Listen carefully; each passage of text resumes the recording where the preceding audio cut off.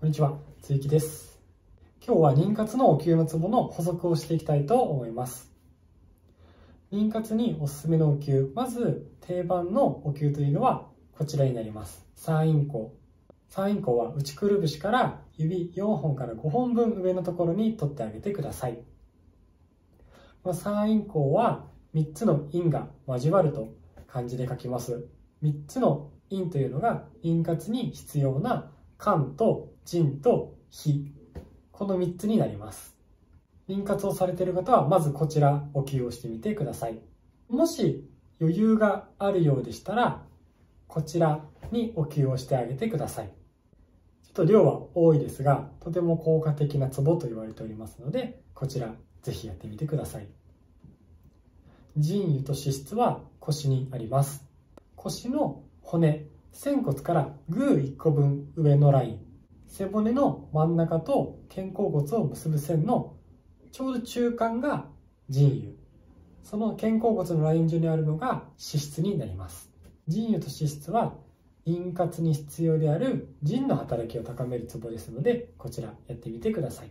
伏流と三陰交は足の内側にあります。内くるぶしの上指3本分のところに伏流を。指4本から5本分上のところに三陰交を取ってください。足三里は膝の下外側にあります。膝の下の剣の外側から指3本分、4本分下のところに取ってください。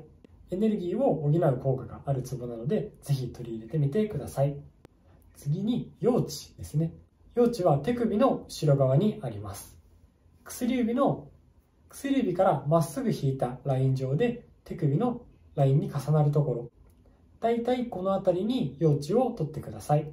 で最後に還元ですね。還元はおへその下指4本分ぐらいのところに取ってあげてください。触るとへこんでいたりしますのでへこんでればそこにお灸をしてあげてください。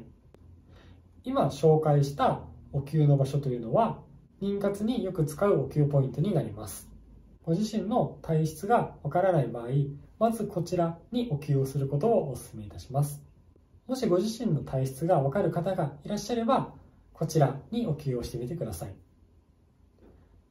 腎のタイプの人には、腎油、脂質、体型、足三里、この辺りにお灸をしてあげてください。肝のタイプの方には、三陰交と子宮にお灸をしてあげてください。消化器のタイプには、三陰交と足三里、結界、こちらにお灸をしてあげてください。今日はツボの紹介の動画でした。あまり慣れてないうちはたくさんお灸をやるとのぼせてしまったりしますので、お灸の数は様子を見ながら調節してみてください。今日も最後までご視聴くださりありがとうございました。この動画がわかりやすければ高評価、チャンネル登録よろしくお願いいたします。それではまた次回の動画でお会いしましょう。さよなら。